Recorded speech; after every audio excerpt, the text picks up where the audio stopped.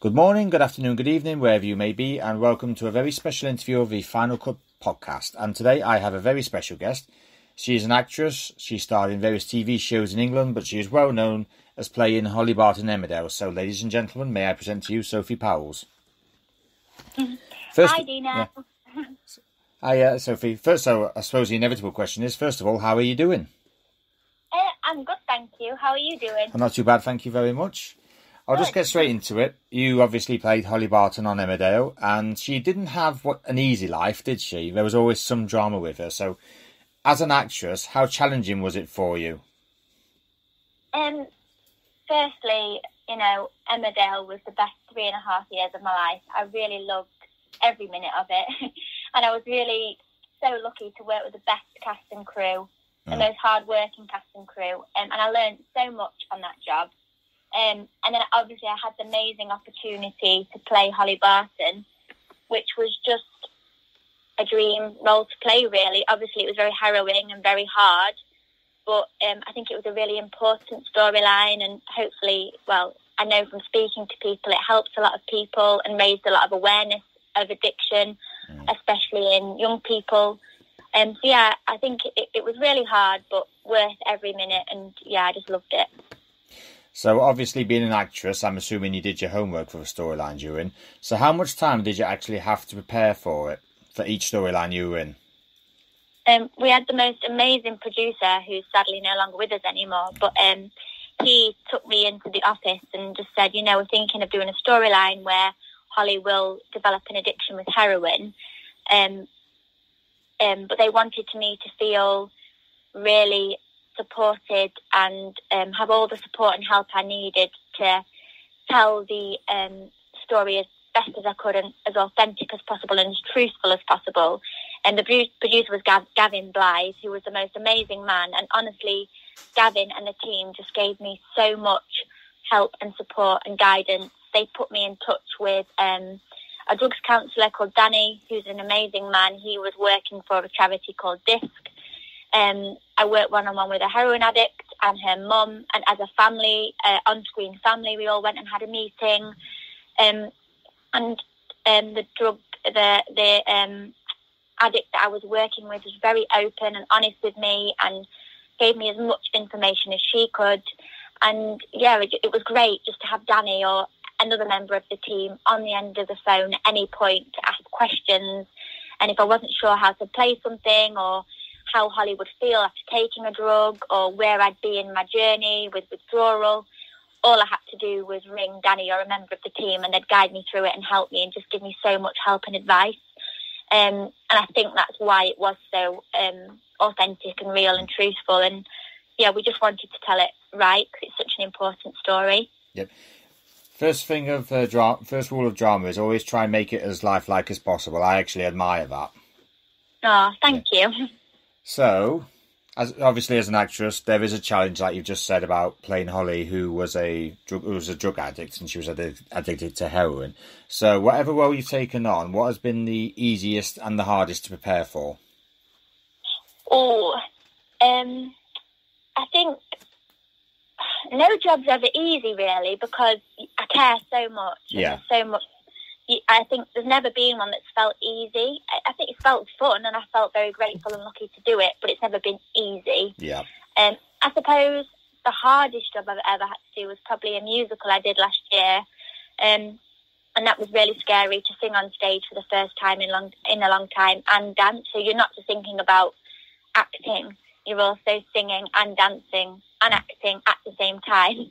So there's a lot going into it. You know, you don't just have to remember your lines, but yeah. you have to remember choreography and lyrics and music and come in at the right time and not miss the beat. And which, um, yeah, that that was probably the hardest because there was a lot of pressure. Yeah. Um, but yeah, it was so fun and I loved every minute. So you were nervous basically, but once you got into a stride of it, you were perfectly fine with it. Oh, I'm always nervous, Do you know? Before I go on stage, I'm so nervous. But the minute I get on stage or on set, I'm fine.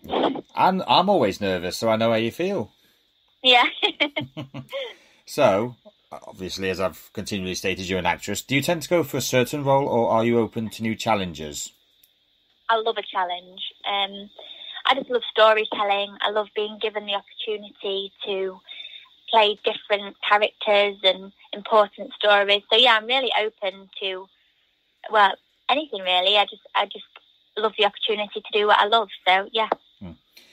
And it's not just Emmerdale you've been in. Like I previously said, you've started in Dalziel and Pascoe and Holby City. Is there any shows you'd like to do on to to go on? Sorry, that you haven't uh, done before. Oh, where do I start? I just think in especially in the UK at the moment, well, all over the world, there's just mm. the most incredible.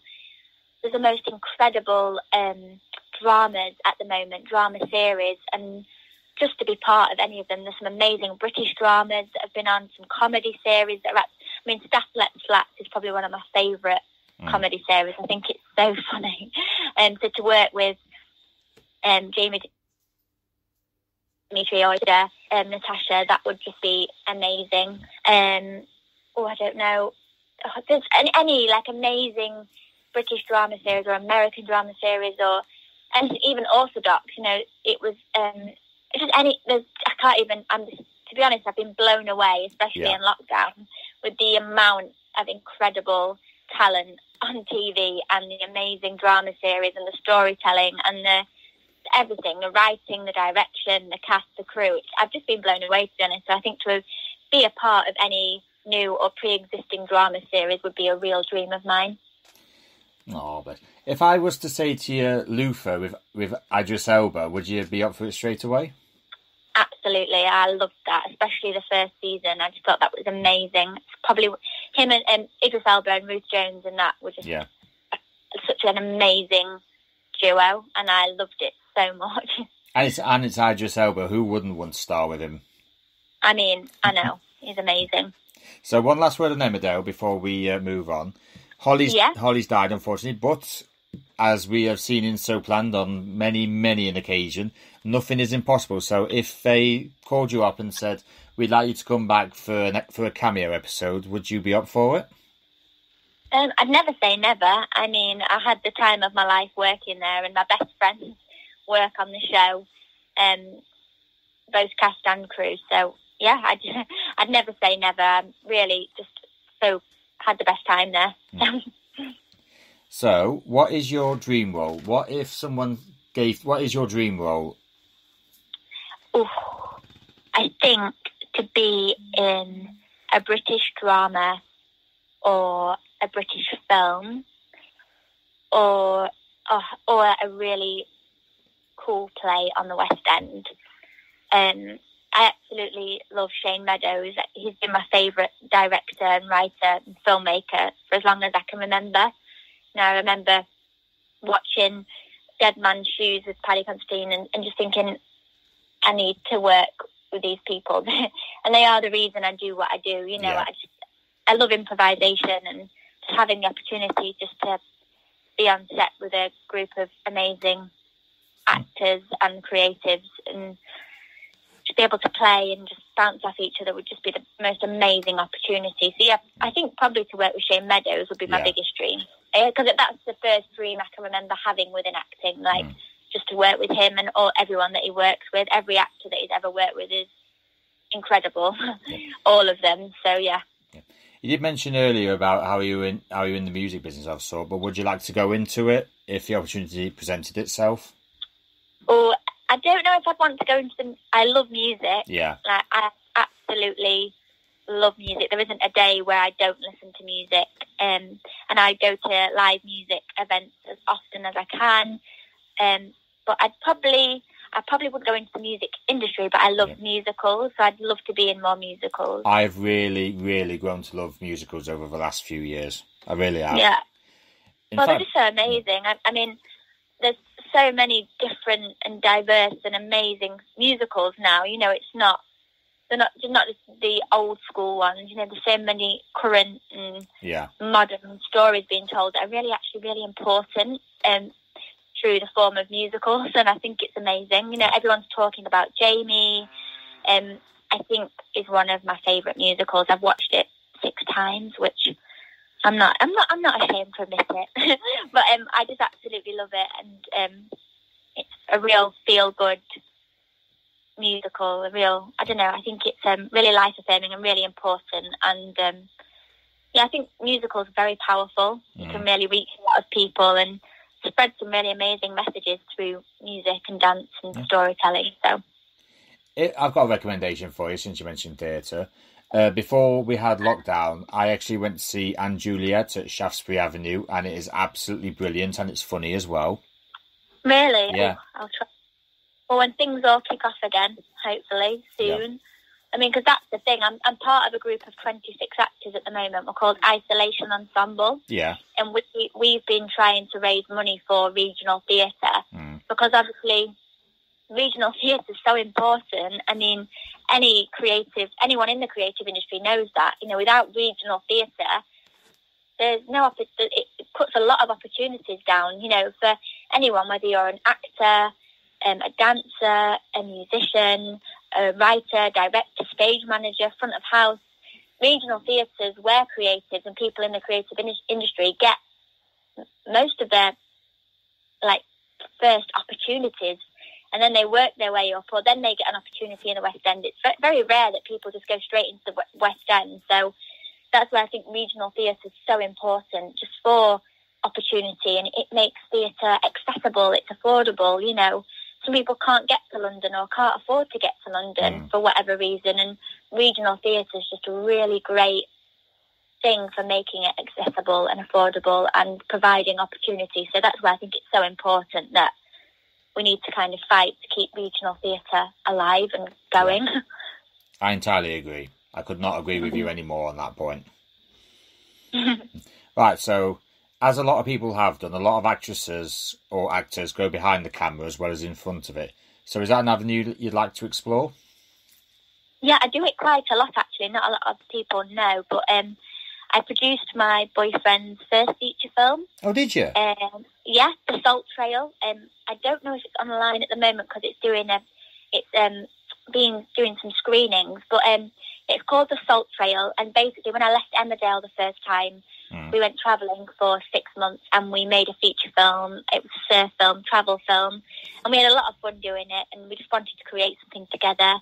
I'm often assisting at shoots or um, behind the camera, set dressing or um, running. I get called the dog's body a lot because I kind of do anything. I just, I don't really mind if I'm uh, the actors on set or any. I, I just love being on set. I love being on, in the theatre. I love being on film and TV set. I just love being around creative people yeah. within the industry, and I'll kind of do anything. So they all call me the dog's body because yeah. I will kind of just do anything as long as I'm amongst it. So. Yeah, so shall we talk? We'll talk a bit more about uh, the movie, shall we? What exactly is it about? Oh, it's my boyfriend's new movie that is coming out in September, hopefully. It's called Chasing the Present. And basically, um, about four and a half years ago, my boyfriend and a friend of his, we were all just discussing how there's a global pandemic, a pandemic before before this actual pandemic um, mm. of mental health. You know, everyone was struggling. Everyone seemed to be really suffering with their mental health. Um, whether it was depression, anxiety, yeah. suicide rates were going up. People were just feeling lost. And um, after lots of discussions. My boyfriend and a friend, um, Mark Waters and James Sebastiano, decided to try and do some do something. And as um, Mark's a filmmaker and James um, is someone who just wants to help. He's an amazing guy.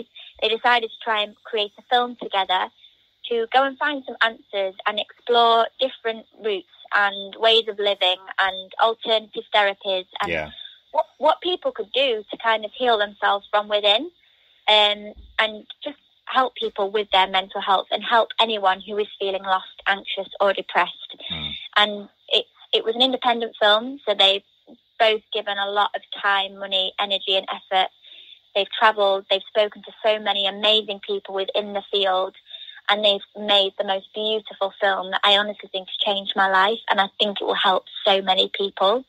Um, and to go with the film, they've also done a summit in collaboration with Hay House. Yeah. And it's um, a mental health summit where they've got loads of professionals and people within that kind of world and talking about different ways of living, meditation, healthy mm. living, yoga, yeah. and it's really, really amazing. So yeah, that's out now. The summit with Chasing the Present for Hay House, and it's online.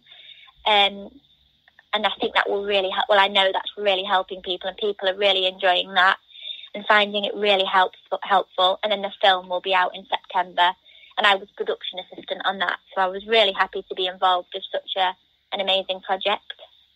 Sounds amazing from what you've just said. Um, mm-hmm. So we know what one of your passions is. So let's talk about uh, what the rest of your passions are, because you're a patron, aren't you? Yes, I am. I'm, I'm patron for um, Sunflowers Children Action Group.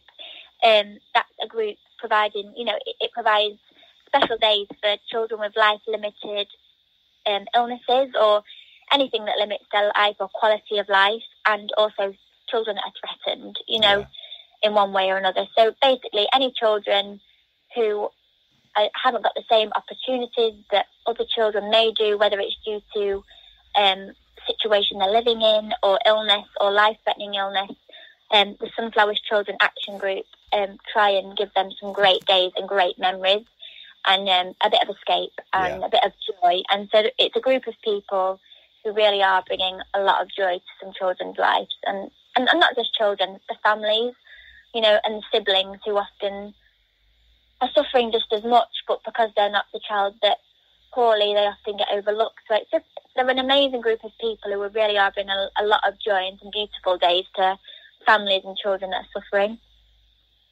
And then I'm also a patron for Zebedee Management. I'm an ambassador and a patron for Zebedee Management. And um, my friend Zoe Proctor started it up. Um, she was a plus size model, and she just, as she got older and had children and looked a bit more closely at the industry, or maybe stepped back from it a little bit, and after being so involved in the industry, she realised there's a real gap and a real lack of representation for models with um, disabilities and alternative appearances. You know, there wasn't anyone representing those people. You know, people who are so talented and amazing but happen to have a disability or an alternative appearance. And there's no one re- really representing these people in the acting mm. or modelling industry or the creative industry. So Zoe and Laura, her sister-in-law, started up Zebedee Management. And they started a performance art group, um, performance art group that was every Tuesday night and it's an amazing place. I, I used to go every week, and we all come together and sing and dance and talk and share and are creative. And that's an amazing safe space they've created for people with disabilities or additional needs. And then they've also started the agency, which is absolutely amazing. And I couldn't be more proud to be associated with it and involved. And um, they're just providing really amazing opportunities. You know, they're really changing the way the industry is. You know, it needed more diversity and equality and honest representation of the people of Britain and the world. You know, mm. everybody doesn't walk around looking perfect. Well, in society's opinion of what perfect is, you know, there are people in wheelchairs. There are people with missing limbs. There are people with scars. There are people with um, vitiligo and albinism, and you know, of all different looks. And everyone's beautiful, and that's a true representation of people. So we really urged people to use our models, you know, to advertise their clothes and whatever they're doing, to tell their stories, to be in the TV shows, to be a true representation of people living in the world. And it's been amazing. I mean, one of the models, Ellie, she was just modelling for Gucci. Um, we've had the whole campaign at River Island where labels are for clothes, not people. Um, and it's just really, really great to see a true representation and um, and also models being used because they're brilliant and they're talented and they're really lovely people, not for tokenism. Mm. So I do. Zoe and Laura have really made such an impact on the industry, and it's just amazing. And I'm just so proud and inspired by them, and just seeing everything that they're doing and the lives they're changing and the opportunities that they're creating. It's really, really amazing. Wow. Yeah. and then aside from that, obviously, I um, I'm also a ambassador for um, another friend that I'm incredibly proud of. My um, best friend Jordan, um, Jordan Brompton. Um, four years ago, her and her friend Lee started a startup called myenergi. they really wanted to make a difference in the world and were really passionate about renewable energy and green energy. And they started myenergi, which is um, they're a UK innovator and manufacturer of green energy products for smart home and energy management. Yeah. So they're they're really just trying to make um, um, like solar energy and well, just renewable energy. They're trying to make it accessible for everyone because obviously the sooner we all stop burning fossil fuels, fuel, fuels and driving really polluting cars, the Mm. better. Um, and they've actually created world's safest and the world's best um, electric vehicle charger called the Zappi. So it's just amazing, you know, from this small town I'm from, um, just to see these people really changing the world and taking really brave, amazing, big steps. And yeah, I'm just, I'm really, really proud and really proud and honoured to have been asked to be part of these initiatives and these um, companies. So it's really amazing. Wow. You are quite a busy little bee, aren't you? Say that again. You are quite a busy little bee, aren't you? I am. so I am. much I going like on. keep busy. Because I was about to, because I'm a petrol head, and if I must admit, I think there is a bit of concern that electric is the future and petrol cars will soon be a thing of the past. So it's actually quite a smart thing to uh, invest in, really. Yeah, I just feel like we need to change. You know, I'm um, I'm vegan. I try and live as green and eco as I can, and just try and make as uh, I try and be a good human on the planet Mm. and be kind to people and the world. And just so for me, I just think it's really, really important. I mean, I'm not in a position at the moment to have an electric car, but fingers crossed, one day I will be. Hopefully, we all will have. yeah, hopefully, Fingers crossed, yeah. hopefully. Yeah. So, yeah. So if uh, people want to find you on social media, how would they go about it? So I'm on Instagram. Um, it's sophie.powells. And I'm on Twitter. I think it's Sophie Powles. And I think that's about it. I'm not the most active person. I'm a bit of a nana with technology. Um, Oh, but I you. do try my best. Um, and I keep in touch with a lot of family and friends. On I, I think the thing I love about Instagram, it's almost like a, a postcard, you know, to like everyone keeping in touch and seeing what everybody's up to. So it's quite cool, I think. If, if, I think um, it can be quite a powerful thing if used in the right way to spread some really powerful, amazing messages. Wow, I shall immediately uh, follow you on Instagram. So- and so, and on being the first ambassador and patron I've had on my chats, uh, Sophie Powles, everyone. Thank you. So lovely talking to you, Dino.